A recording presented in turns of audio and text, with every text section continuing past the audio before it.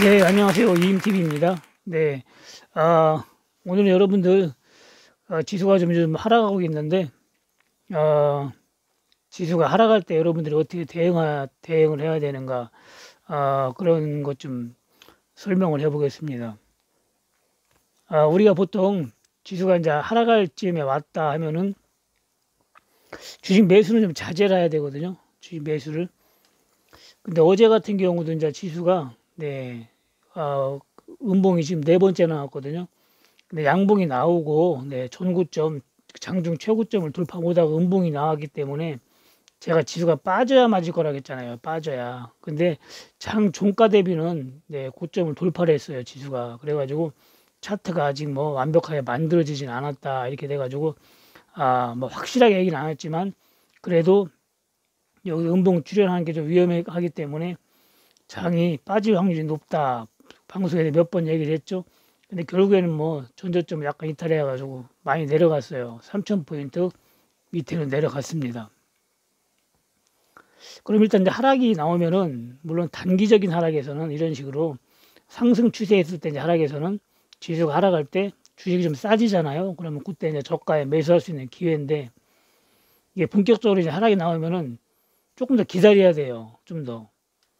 야, 이게 여기서 여기까지 빠질지 더 빠질지 모르기 때문에 어느 정도 이제 하반 경직이라는 게 있잖아요. 그 보일 때까지는 네, 기다렸다가 매수를 하는 게 원칙인데 아, 이게 빠질 때 보면은 그 주식이 사고 싶어 가지고 현금이 있으면은 자꾸 물어보거든요. 아, 이거 지금 들어가려고 하는데 어떻게 해야 되느냐. 그럼 제가 사지 말라고 쉬라고 네. 쉬라고 한 분들이 많거든요. 그래서 안 산 분들이 많아요. 그런 분들을 보면은 아 예를 들어서 서현이와 같은 경우도 뭐 7,700원대부터 네 사고 싶어 가지고 자꾸 사도 되느냐 안 사도 되느냐 몇 번 물어봤는데 제가 사지 말라고 했습니다. 근데 지금 7천 7천원 초반까지 왔잖아요. 그죠? 여기서 샀으면 벌써 손실폭이 어제만 샀어도 손실, 손실폭이 상당히 큽니다. 목요일만 샀어도 10%가 내려왔어요. 고점에서 10%가. 그러니까 여러분들은 5%뭐 10%만 손실을 봐도 또 손실에 대한 것도 엄청 예민하거든요. 또 엄청나게 걱정을 합니다. 좀 기다릴 수 있고 한심용이기 때문에 나는 장기라도 기다릴 수 있다 이런 식으로 마음 먹고 뭐 들어가는 건 큰 문제가 안 되지만 단기적으로 좀 손실을 좀 덜 보면서 그래도 최저가에 잡으려고 마음을 먹었으면은 좀 참아야 돼요. 지수가 하락할 때는. 네, 그럼 참아야 되는데 그걸 참지 못하고 자꾸 사고 싶어가지고 자꾸 물어봅니다.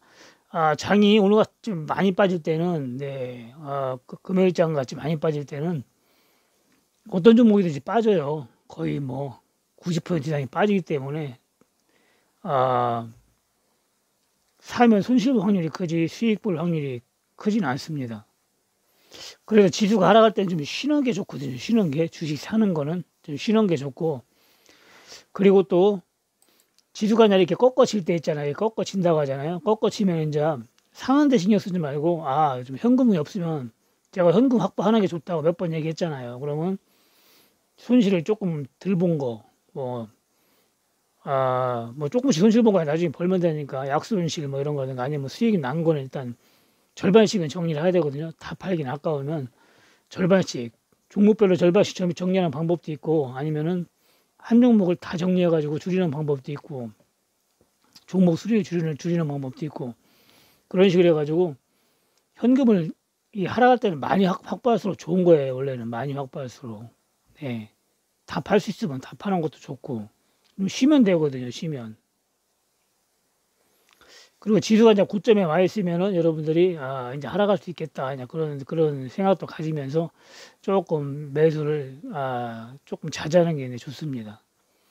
그리고 어느 정도 이제 바닥에 와가지고 이평선 뭐 다 가지고 막 그 상승 네 하반 경직을 보이면서 상승할 것 같다 하면 그때 그냥 좀씩 들어가면 되는 겁니다. 네 그리고 뭐 여러분들이 한 번 실패했다고 해가지고 너무 실망하고 그럴 필요는 없어요. 여러분들 저 같은 경우는 뭐 수백 번, 수천 번 더 실패를 했어요. 깡통을 몇 번 쳤나 몰라요. 처음에, 네, 처음에 주식할 때는 한 달에 한 번씩 뭐 깡통 쳐다 깡통은 아니지만은 한 달에 한 번씩 계좌를 충전을 했어요. 한 달에 한 번씩. 보통 한 달에 한 보통 한 2천만 원씩 까먹으면 또 충전, 충전해가지고 한 3년, 4년을 그렇게 하니까 돈을 엄청나게 까먹어 봤는데 초창기 때 아, 뭐 그렇게 하다 보니까 이제 뭐 재산 다 거들이 나고 이렇게 해가지고 어, 엄청나게 많이 손실을 봤는데 아, 여러분들이 한 번 이렇게 손실을 봤을 때는 아, 다음부터는 내가 어떻게 해야 되겠다는 걸 그걸 공부를 해야 돼요. 이번에 손실 본 거 가지고 아 대응을 잘못한 거 가지고 여러분들이 실망을 하지 말고 오늘 교훈 삼아 가지고 아 다음에는 어떻게 해야 되겠다. 그거를 가슴 깊이 새기면서 다시는 또 그런 실수를 안 하고 다음에는 제대로 대응을 할 수 있는 그런 마인드를 여러분들이 아 갖는 게 중요한 겁니다. 근데 실패는 성공의 어머니라고 했잖아요. 여러분들이 실패 없이는 성공을 할 수가 없습니다. 저도 엄청나게 많이 실패를 해봤어요. 아, 뭐 얘기, 얘기를 하자면 끝이 없지만 여러분들이 지금 실패하고 이러가는 거는 네, 별거 아닙니다. 저는 아, 뭐, 뭐 카드깡까지 1억 5천까지 하고 뭐 지하까지 내려갔다 했잖아요. 지하까지. 여러분들은 지금 뭐 공부할 때도 많고 배울 때가 많기 때문에 그렇게 실패를 안 하고도 성공을 할 수가 있습니다. 아, 저희가 아, 주식을 배울 때는 배울 때도 없어요. 그 당시는 HTS도 없고 거의 뭐 매장 그 장에 나가가지고 전광판 보고부터 주식을 시작했으니까 완전히 아나로그식이죠. 네. 그렇게 배웠기 때문에 거의 뭐 맨 땅에 헤딩 하다시피 네, 배웠기 때문에 아, 뭐 수업료도 엄청나게 많이 냈고 네, 그렇게 해서 배운 거라 아, 여러분들은 훨씬 더 유리한 겁니다. 그러니까 이 정도 하락에 여러분들이 실망할 게 아니고 다음에는 이제 어떻게 내 대응을 해야 되겠다. 네, 그거를 여러분들이 공부를 하면 되는 겁니다. 아, 그리고 이제 해지를 이번에는 제대로 못 들어갔지만 다음 기회 있을 때는 네, 그때는 아, 좀 제대로 들어가 가지고 네, 수익을 한번 네, 크게 내야 될 것 같습니다. 이번에는 여러 가지 어려운 점이 많았어요. 차트도 좀 그리고 아, 여러 가지로 아, 저번 3월달 마냥 차트가 제대로 만들어져야 확신이 서가지고 네, 내질러 버리는데 저도 뭐 그렇게 못해가지고 이번엔 내질리지를 못했어요. 그리고 금요일자까지만 끌고 왔어도 네 그래도 좀 크게 먹었는데 아, 목요일장에 일단 정리를 하고 아, 뭐 미국 주식이 너무 많이 올라가지고 뭐 이렇게 해도 큰 하락이 올지는 몰랐죠. 네, 주식은 뭐 올라가면 또 내려가는 거고 또 내려가면 또 올라가잖아요. 네, 그렇기 때문에 여러분들이 걱정할 거 없습니다. 또 내려가면 내려가라. 또 뭐 올라가겠지 이런 식으로 아, 긍정적인 마음으로 여러분들이 대응을 하면 되고 아, 기왕이 만약 내려갈 때 네, 아까 얘기했듯이 네, 좀 종목수도 줄이고 어, 그리고 현금도 좀 확보를 해가면서 기다렸다가 다시 또 싸게 살 수 있고, 이런 식으로 여러분들이, 어, 대응을 하면 됩니다. 그리고 제가 이제 한두 뭐 leading 받고 계시는 분 전부 한두 분이 아니기 때문에 일일이 다 제가 현금을 얼마 들고 있는지 이런 걸 다 기억을 못 해요. 그렇기 때문에 여러분들이 그 알아서 어느 정도는 조절을 해야 됩니다. 네, 지금 뭐 인원을 제가 많이 상대하기 때문에 어, 한 명씩 개인적으로 카톡 주기 힘들고 하기 때문에 전체적으로 나가기 때문에 종목 주는 대로 다 받아가지고 어, 빵빵하게 네, 그 계좌를 불리지 말고 어느 정도 현금을 유지해가면서 항상 대응하는 게 좋습니다. 네, 미국 주식이 얼마나 많이 또 빠지고 네, 오르느냐에 따라서 아, 뭐꼭 미국 주식 꼭 따라가는 아니 따라가는 건 아니에요. 그래도 어느 정도 영향이 있으니까 좀 반대로 가는 경향이 많아요. 어제 마냥 금요일장 마냥 아, 미국 주식 오르면 확 빼버리고 또 미국 주식 엄청 빠지면 또 상, 상상 외로 또 안 빼잖아요 또 그러면 개인들 심리를 역이용해 가지고 네그 아, 역이용하는 거기 때문에 그렇게 움직이는 겁니다 지수가 어떤 때는 또 정상대로 움직이고 어떤 때는 또 역이용해서 움직이고 이러기 때문에 주식이 어려운 거예요 항상 똑같으면은 대응하기가 쉽죠 네. 네, 미국 주식이 안 빠질 때도 확 빼버리고, 네, 오를 때도 빼버리고, 또 올라갈 때도 또 미국 주식이 또 아, 빼버리고 안 빠질 때 또 많이 빠졌을 때 또 올려버리고 또 아침에 빠지는 척 하다가 쭉 올리다가 좀씩 빼고 이런 식으로 하기 때문에 여러분들이 심리를 역이용하는 경우가 많습니다. 네. 그렇지 않고 또 순리적으로 또 될 때도 있고, 네. 그래서 어려워요, 이게. 네, 개인들이 뭐 동학, 동학 개미들이 뭐 1조, 네, 7천억씩 막 2조, 3조씩 사도 결국엔 지수가 뭐 빠질 때는 빠집니다. 네, 그, 그 전체적인 흐름을 네, 개인이 방어하기는 네, 역부족이라고 생각하거든요. 그렇기 때문에 어차피 지수는 네, 그 흐르는 방향대로 흐르기 때문에 여러분들이 차트를 잘 네, 살펴보면서 어, 앞으로는 대응하면 될 것 같습니다. 네, 현금이 있으신 분들은 그래도 그동안 잘 움직였던 거 빠지면 잘 올라갔던 거, 네, 그런 거, 아, 그런 걸 매, 매집을 하는 게 좋을 것 같습니다. 네, 아, 예를 들어서 뭐 서현이화라든가, 네, 일지테크 뭐 이런 거, 아, 그런 거 있죠. 네, EDT 같은 것도 좋은, 좋으니까, 네, 제가, 제가 공개를 했다고 했죠.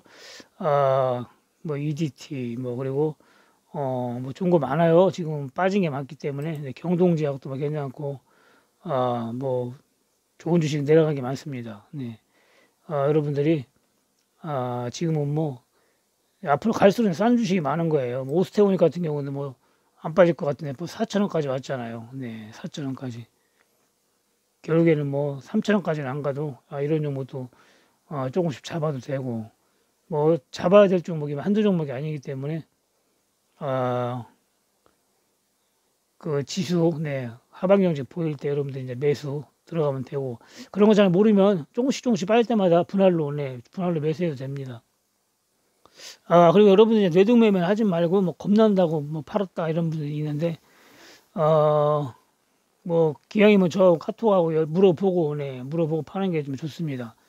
어, 풋 같은 경우도 네그 손실 보고 파는 사람도 있어요. 손실 보고 어떤 또 많이 수익 본 사람도 있고 또 금요일 날 매도한 분도 있잖아요. 금요일 날 금요일 날 매도해가지고 또 수익도 크게 보신 분이 있는데 그분은 또 목요일 날도 못 팔았대요. 그래가지고 그런 분은 또 아, 목요일 날 때를 놓쳐가지고 아, 팔아야 되냐고 물어보길래 저한테 제가 holding 하라고 했거든요. holding 그렇게 해가지고 또 금요일 목 금요일 날또 네, 더 높게 더 팔고 가신 분도 있는데 여러분들이 뭐 해지 같은 경우는 워낙 등락이 심하기 때문에 여러분들이 심리에서 네, 당해내질 못해요. 그러니까 개인적으로 하면 안 되고 그리고 또 물어봐야 됩니다. 물어봐야 돼요. 그리고 따라서 하더라도 좀 많이 빠졌을 때도 그 겁난다고 팔지 말고 기다리라면 좀 기다리고 손실 볼 때 보더라도 기왕이면 뭐 하라고 하는 대로 하는 게 좋습니다. 네, 오늘 방송 여기까지만 하고 내일 또 휴일, 일요일 날 어, 시간이 되면은 어, 또 월요일장 대비 또 방송을 또 하겠습니다. 네, 2월 달에 여러분들 교육 네, 그 20, 일 날은 찾고 21일 날 자리가 두 개 있으니까 어, 뭐 교육을 받고 주식을 좀 제대로 알고 싶으신 분은 네, 문의를 하시면 됩니다.